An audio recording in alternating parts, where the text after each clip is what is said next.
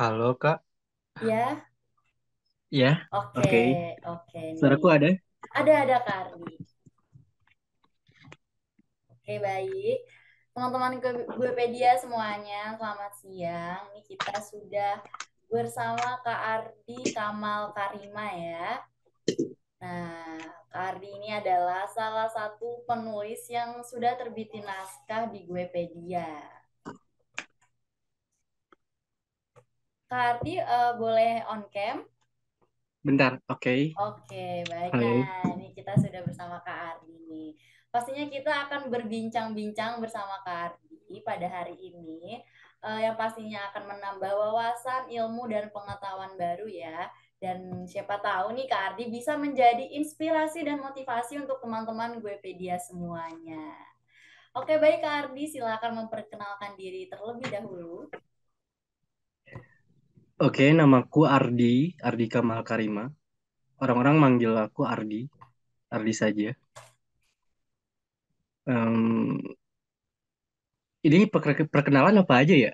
Eh, boleh Hobi? silakan. Iya boleh, atau Halo. kesibukannya apa, ya silakan.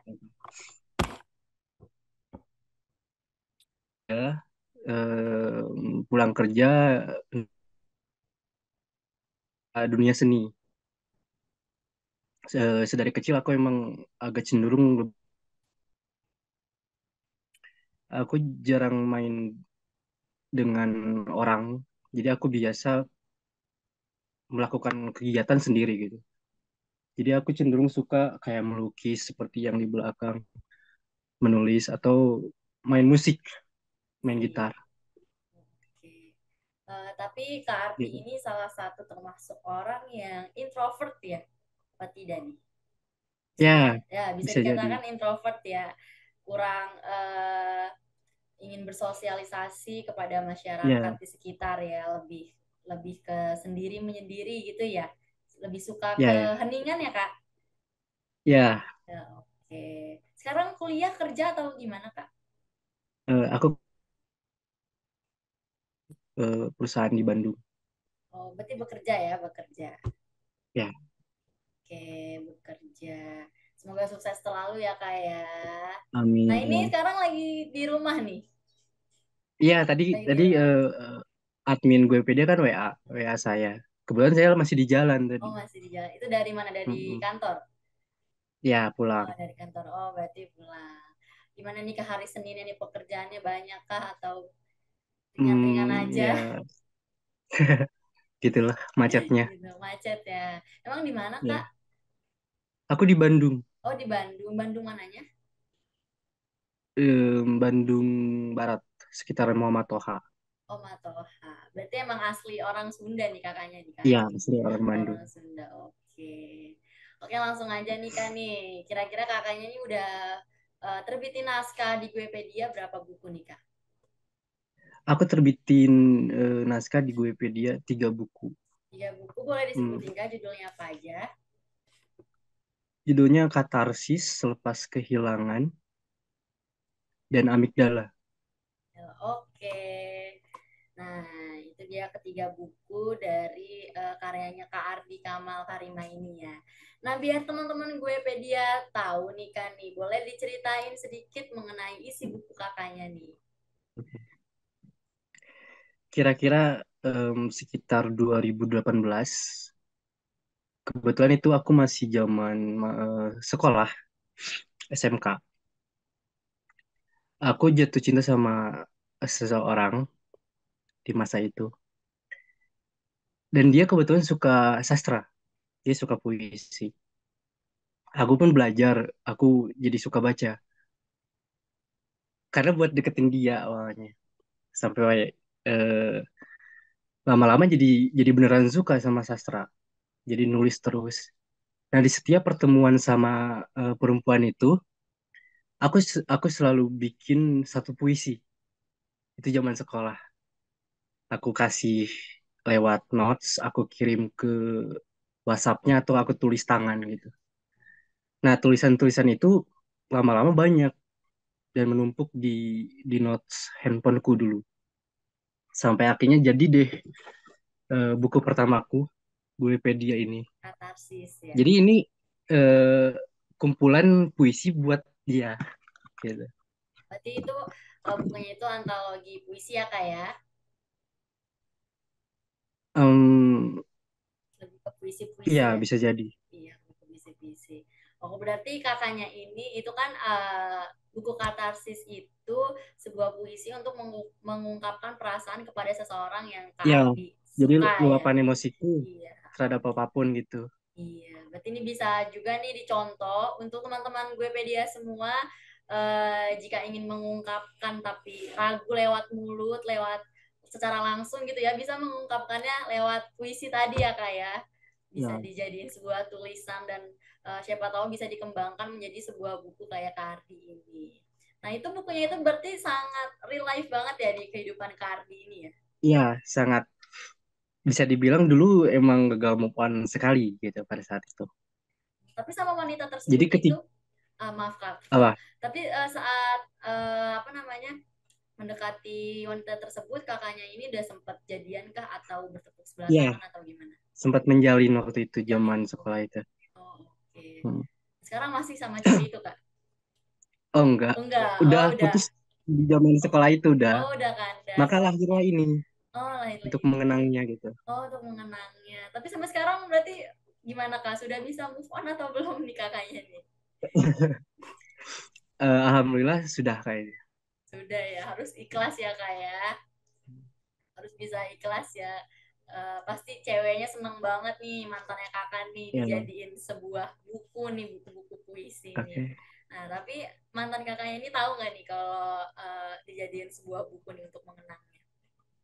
Iya, awalnya dulu eh, aku terbit eh, sekitar tahun 2020 kalau nggak salah ya. Dan aku memang sengaja, aku ini lucu sih, Boleh boleh kayak kan semacam. diceritain? Silahkan. Jadi aku menerbitkan buku ini sengaja biar aku dinotis sama dia gitu. Itu sudah eh, ketika hubungan udah berakhir. Oh, berarti Eh ini loh, ini tulisan aku buatmu jadi buku gitu. Dulu pada saat itu.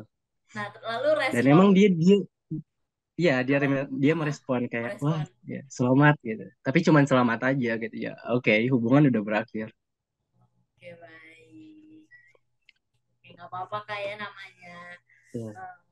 menjalin hubungan itu ya yang pasti Ya. ada dua tujuan ya kalau nggak putus itu pasti menikah ya jadi ya, ya Ya. konsekuensinya ya kayak kalau kalau jodoh ya lanjut kalau Mm. tidak berjodoh ya ya sudah mau diapakan lagi gitu ya kayak Ya, iya jadi jangan takut juga ya kayak kalau eh, perihal jodoh rezeki maut juga pasti sudah ada yang mengatur ya kak jadi nggak akan tertukar ya, benar.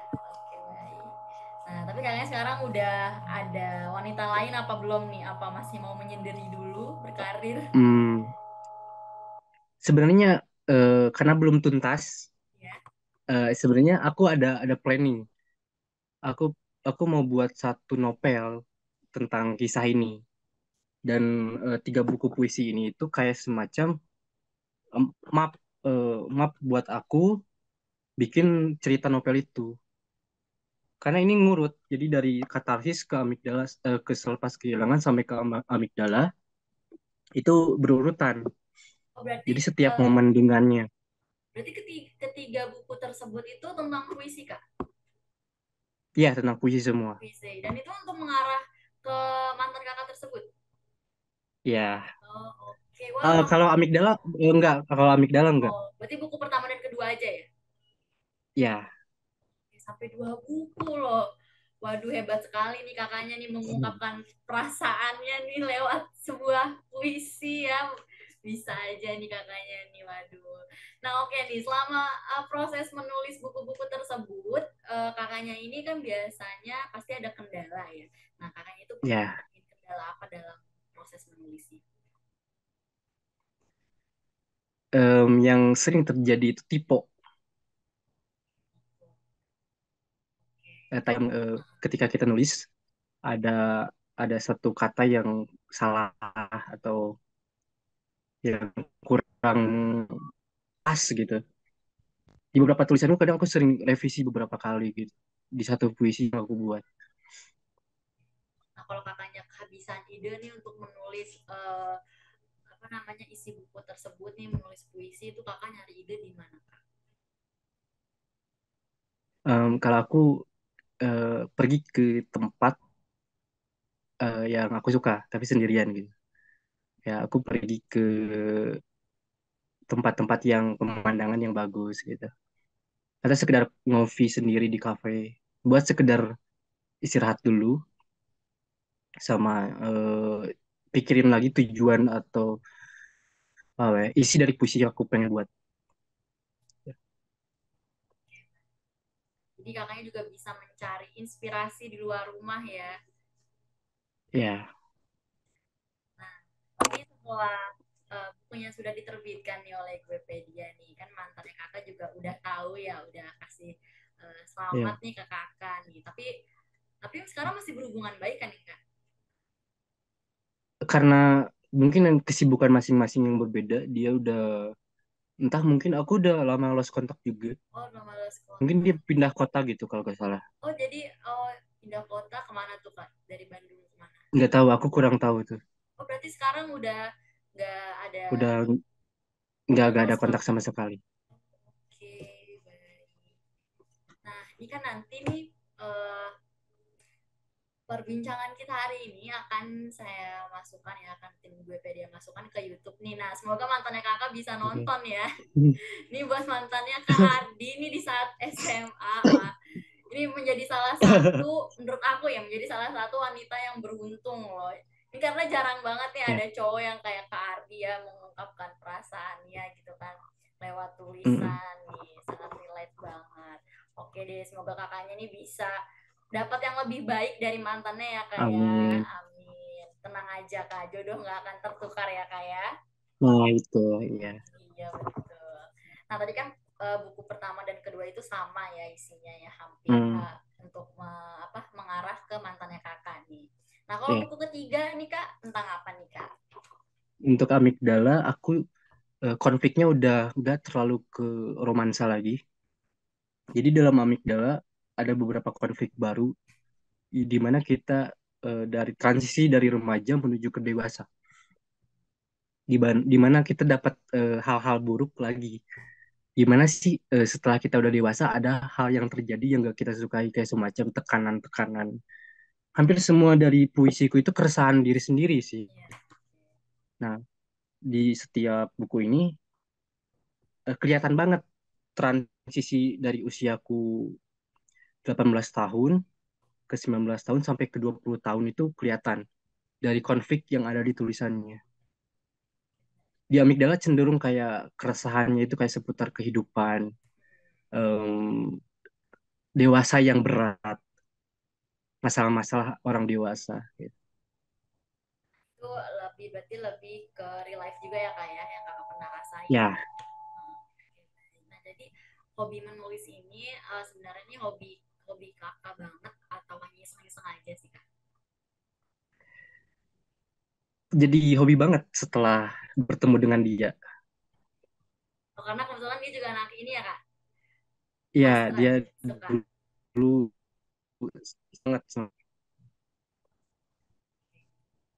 Wah, nih uh, dari berujung jatuh Halo? cinta, ya kak. Nih dari awal jatuh cinta ya kak, jatuh cinta lalu berujung patah hati hubungan kandas hmm. akhirnya bisa uh, apa namanya mendorong kakak hmm. untuk lebih semangat lagi menjalani hidup ya kak ya untuk uh, bisa senang juga hmm. hobi menulis yeah. dan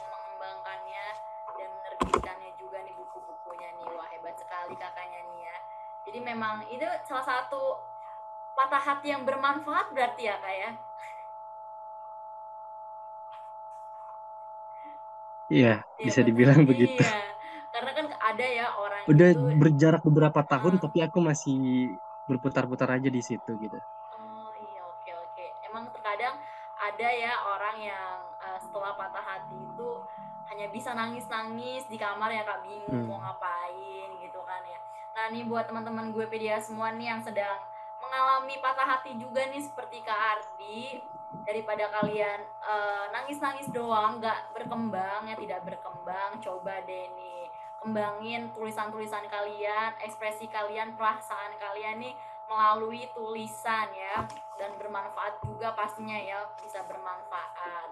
dan yang paling penting itu sebenarnya bikin mantan menyesal ya kak ya Ya, iya kita harus bisa dengan cara yang uh, elegan gitu. betul kita harus bisa memperbaiki diri kita menjadi lebih Ya. baik ya. Kita juga harus bisa buktiin nih ke mantan kalau oke tanpa kamu tuh aku bisa gitu. Aku bisa jadi lebih semangat lebih berkembang ya kak ya. Heeh, betul banget nih. Jadi kak Ardi menurut aku udah klub banget lah pokoknya nih udah mengambil tindakan yang eh, sangat apa ya tindakan yang tepat gitulah ya Ya. Eh, tapi pasti awal-awal kakak juga pasti ada lah ya eh, nangis kayak gitu ya kak ya Iya pasti Heeh, itu sedih terpuruk. Heeh, gitu. hal yang normal ya kayak Hmm, manusiawi. manusiawi karena memang semua orang juga pasti pernah mengalami yang namanya jatuh cinta putus cinta ya betul nah tapi di saat kakak eh, putus cinta itu kan pasti sedih segala macam ya kacau ya kayak tapi kakaknya ini eh, bisa mengatasi hal itu dengan cara apa kak Dengan cara mencurahkannya. Lewat tulisan. mencurahkannya lewat tulisannya selain itu tidak ada lagi kak Em, dua hal yang bikin eh, dua hal yang bisa bikin aku tenang itu iya nulis atau ngelukis. melukis ya oke Jadi Jadi, aku Kak, kalau lagi bad mood atau kayak semacam wah ini lagi penat banget gitu sama kehidupan. Aku jeda dulu istirahat, aku lakuin hal yang aku sukai kayak misalkan melukis atau sekedar membaca-baca buku gitu. Oke. Atau beli buku ke mana gitu. Berarti kakaknya eh, jarang atau nggak pernah nih kayak hangout pergi sama teman-teman kan biasanya nih cowok-cowok kan nongkrong gitu. Ya, Enggak ya? kebanyakan seperti itu. Heeh, Oke, emang orang beda-beda ya kak Ya. Setiap orang begitu. Nanti di belakang ada ada lukisan kakak nih. Nah itu sepertinya menarik sekali nih aku lihat dari sini nih. Eh, bolehkah salah satu dijelasin nih eh, mengenai apa sih maksud dari lukisan kakak itu? Oke, bentar ya. Oke, silakan kak. Um,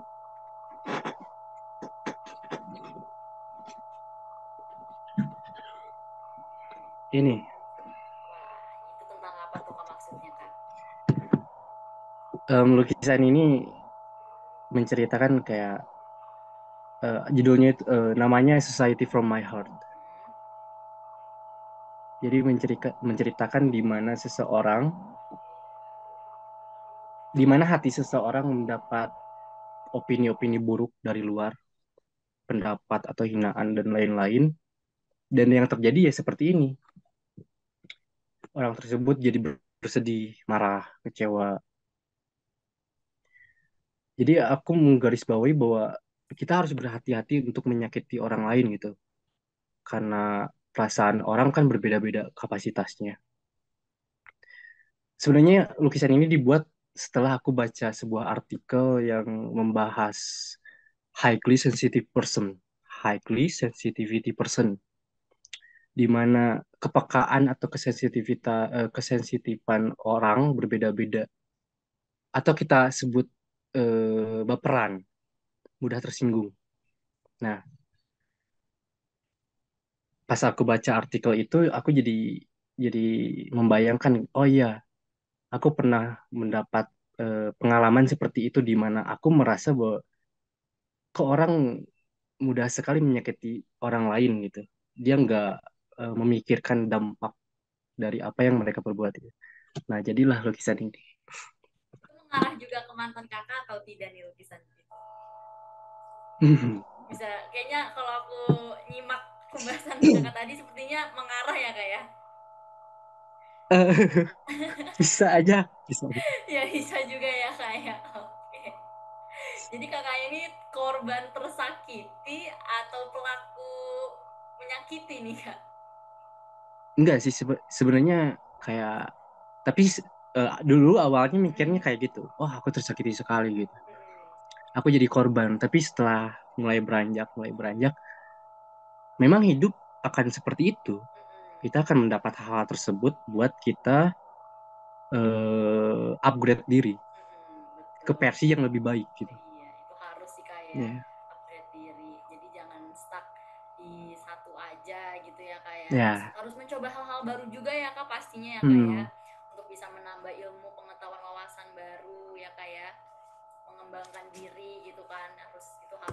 Tuh upgrade diri nah berarti kakaknya ini tapi sampai sekarang tidak tidak masih terjerumus kepada masa lalu kan kak Alhamdulillah udah udah tertutupi oleh kesibukan yang sangat padat. yang sangat Jadi agak jarang sekarang kalau inget-inget dia gitu. Oh, jarang.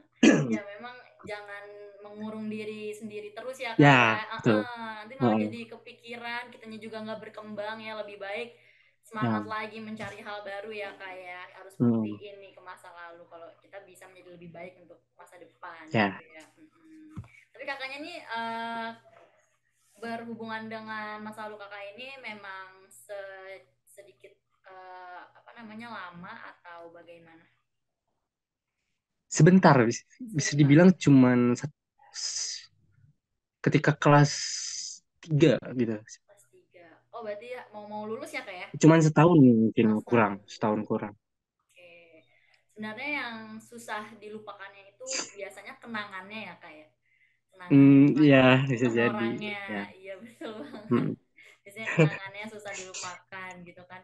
Karena misal eh, yang biasanya setiap pagi gitu mungkin eh, apa namanya ada chat gitu kan selamat pagi gitu kan Hmm. makan segala macem tapi setelah putus ya kebiasaan itu hilang gitu ya kayak ada yang kurang gitu ya kayak apalagi ya Hmm. cukup lama juga setahun ya kayak satu tahun itu menurut aku ya cukup lah ya cukup lama cukup eh, mengenal dia juga bagaimana ya kan ya Mm-mm. tapi nggak apa-apa ya kan namanya hidup ya Hmm. namanya hidup namanya eh, memang itu konsekuensi dari jatuh cinta ya Ya, ya tidak kita juga gimana ya? Ya walaupun jodoh itu tidak tertu eh, tidak akan tertukar gitu ya pasti ada kan ya Allah sudah mengatur. Tapi kita sebagai manusia juga eh, sebenarnya harus berusaha ya harus mencari yang lebih ya berusaha. baik juga eh, eh, harus mencari yang baik gitu kan. Jadi kakaknya tenang aja nih kalau kakaknya ingin mendapatkan jodoh yang baik ya dari kakak di- dari diri kakaknya sendiri juga harus upgrade diri ke yang lebih baik ya jauh lebih baik Ya, benar. Iya, nanti insya Allah akan dapat jodoh seperti cerminan kakaknya sendiri ya. Oke, tapi sekarang udah bener-bener clear ya, kak udah bener-bener kelar sama masa lalunya. Udah udah kayak sekarang ya kalau inget ya kayak cuman eh, ketawa aja kayak oh iya ternyata masa remajaku indah gitu Hmm, gitu aja. iya. Dan itu udah terlewati gitu. Iya, masa-masa SMA memang indah ya kak ya, masa-masa percintaan Mm-mm. di kisah-kisah SMA remaja itu. pasti semua par- pernah mengalami ya pasti. Oke. Ya. Nah, oke, nah nih kakaknya nih awal tahu gue pedia dari mana kak? Ya sekitar 2019 itu ada kawanku Hmm? karena aku eh, aktif di satu platform digital gitu yang yang membahas sastra gitu kayak perkumpulan gitu. Dan dia dia kasih tahu aku eh kamu suka nulis ya? Gitu. Ini ada penerbit loh katanya. Hmm. lagi ada event terbit gratis. Kamu coba deh kirim naskah gitu katanya waktu itu. Aku coba deh kirim naskahku yang pertama katarsis. Jeda beberapa bulan ternyata diterbitkan sama Wikipedia. Oke, alhamdulillah ya kak ya. Seneng gak nih kan nih bisa diterbitkan oleh Gue-pedia nih buku-bukunya. Akhirnya Seneng banget. iya, perasaannya tersampaikan ya kak ya. Ya. Bisa jadi bermanfaat juga nih untuk banyak orang yang baca buku-buku kakak. Hmm. Iya oke. Tapi eh, selama penerbitan itu kira-kira ada kendala nggak kak? enggak sih menurutku kayak emang Wikipedia kasih beberapa kemudahan yang baik di sistem websitenya kan pada saat itu eh, kita upload juga mudah gitu. Eh, ngisi sinopsis dan lain-lainnya. Nggak ada ke- kesulitan sih. Oke, prosesnya juga cepat ya kak ya, lumayan cepat ya. ya cepat. Nah, cukup cepat. Oke nih, berarti teman-teman gue pedia semua nih eh, yang ingin menerbitkan bukunya, yang ingin mengembangkan tulisannya menjadi sebuah buku, langsung aja nih ya, terbitin naskah di Guepedia ya, pastinya gratis ya, ya Kardi ya. Gratis, mudah ya, dan gampang banget ya kak ya. Dan pastinya Iya, juga ada banget. ada syarat dan ketentuannya yang berlaku. Jadi buat teman-teman Iya. gue pedian yang ingin menerbitkan naskah, pastikan dulu kalian sudah uh, apa namanya memenuhi syarat dan ketentuan yang berlaku ya supaya cepat nih prosesnya diterbitkan oleh Guepedia. Nah, oke okay nih. Nah, uh, kakaknya mungkin ada yang mau disampaikan nih untuk masa lalunya, silahkan aja nih kak, curahkan hati. Oh boleh ya? Boleh, silahkan aja nggak apa-apa nih. Biar kan kan ini diupload di YouTube ya kak ya, biar ma uh, masa okay. kakak nih lihat ya gitu. Um, buat kamu, entah kamu tahu atau tidak, aku buat buku loh kayaknya. Aku buat uh, kisah kita jadi jadi tiga buku ini, gitu. jadi dua buku aku cuman mau bilang semoga entah eh, di mana pun kamu berada, semoga kamu selalu bahagia. Um, terima kasih udah pernah ada di masa lalu.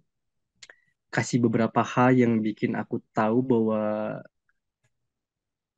makna mencintai seseorang itu gak seindah dan se semenakutkannya aku kira.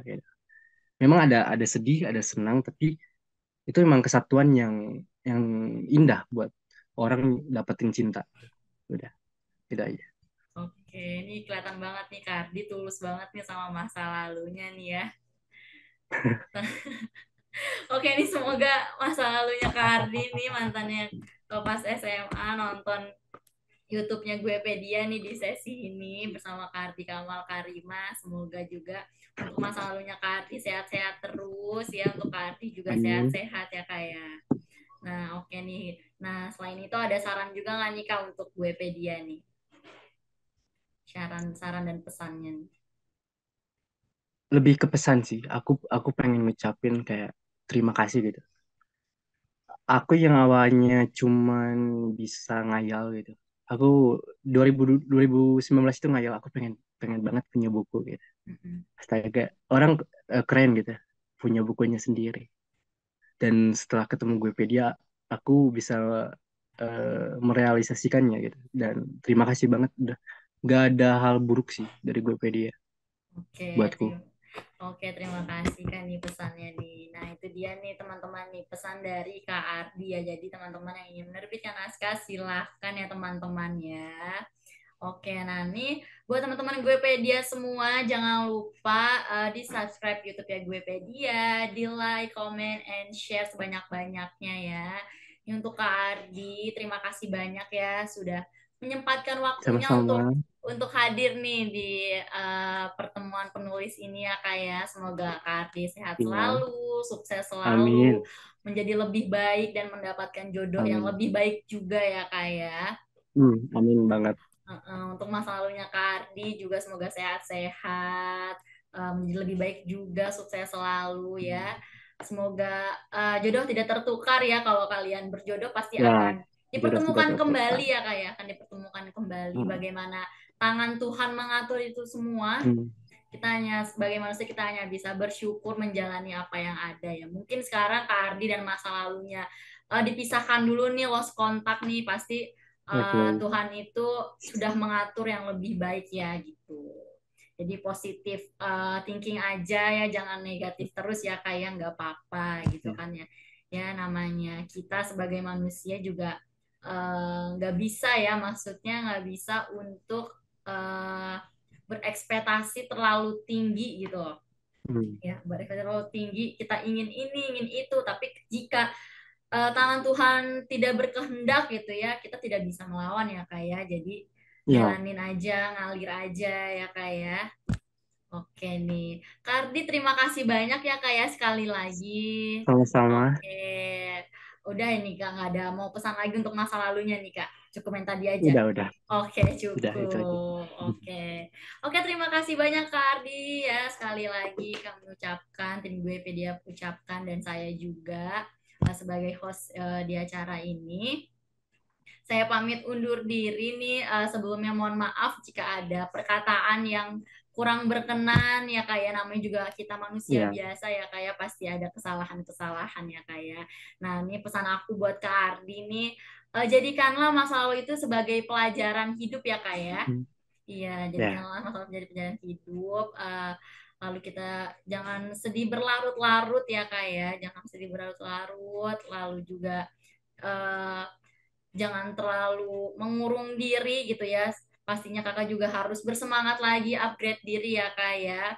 Dan pastikan kalau masa lalu Oke. itu bisa menyesal dan bisa bilang, wah ini sekarang mantan aku nih Hmm. hebat banget gitu loh. Maksudnya setelah udah nggak sama aku kok mak- malah makin berkembang gitu ya. Kok aku lihat dia nggak ada Hmm. sedih-sedihnya putus dari aku nih. Sedih ada, cuma ya tidak boleh berlarut-larut ya kayak. Ya, Iya, kita kan nggak tahu ya bahagia itu datangnya kapan saja. Siapa tahu ter 10 menit lagi nih Kardi langsung dapat kebahagiaan yang luar biasa ya.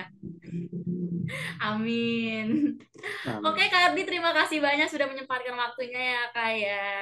Oke, sukses selalu untuk Kardi. Sampai Amin. jumpa Kak. Sampai juga juga. Oke.